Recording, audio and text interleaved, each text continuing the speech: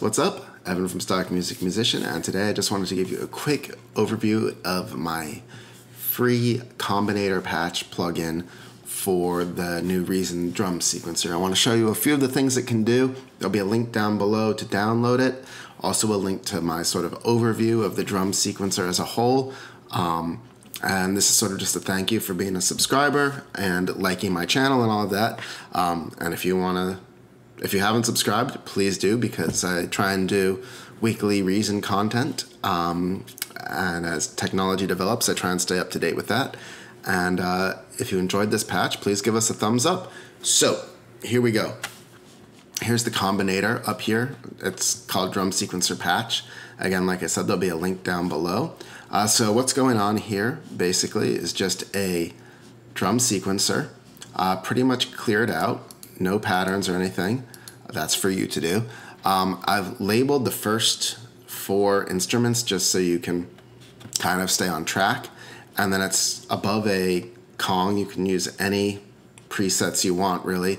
But the one thing I've done here with this Kong is I made it so that the outputs are set for these four main instruments to different channels, uh, different mix channels, and then I patched them through this so that um, if you go to the mixer, you'd have a separate channel for the snare, the kick, and the hi hats, and you could mix them and pl- apply EQ and all that stuff separately, which is what you really want to do for uh, most of your productions. Um, so this will just save you a quick step.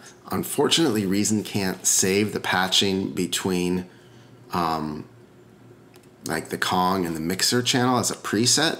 So when you do your own, um, you'll have to create mix channels by going create mix channel and then dragging the input to one of these. Um, okay, so that's the first part of what this has done.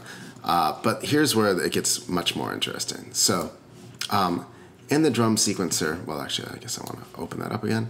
In the drum sequencer, I've come up with three uh, different, oops, I need to three different, um, four different controls here.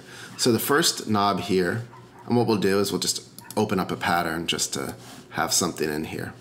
Oops, let's save it first while I mute it. All right, there we go. Um, so now let's put a pattern in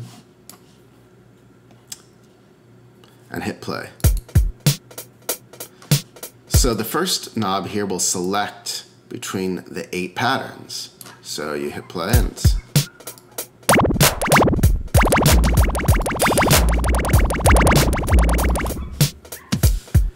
the second one, uh, the second knob creates controls this reset step here, uh, which basically almost creates like a glitch type effect. Now, these next two knobs, stutter and shuffle, only work for the first four patterns um, because there's only so many options you have here. Uh, so if you want to apply the stutter, the shuffle, be sure to put the patterns that you want to stutter or shuffle on the first four. Uh, so we'll go with like, sure we got pattern two here. And now, and this isn't the best pattern to show this off. Um, let's do this instead.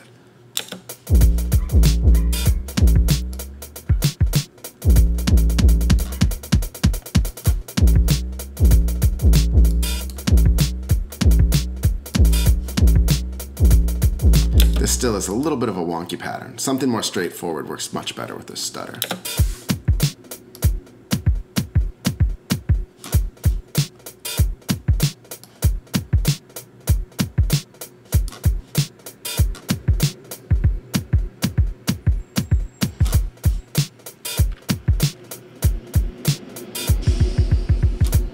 So you see, it basically just changes the loop point. But for simple hip hop type beats, it's really, really uh, powerful. The more complex your beat gets, the the less well it works.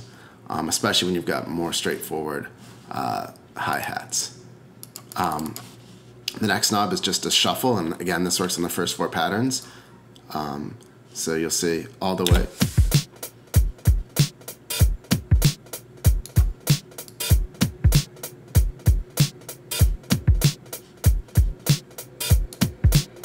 Um, and then finally we've got hi-hat mute, which will just mute this third channel here. It doesn't also, it doesn't mute the open hi-hat, um, just the closed hi-hat. So.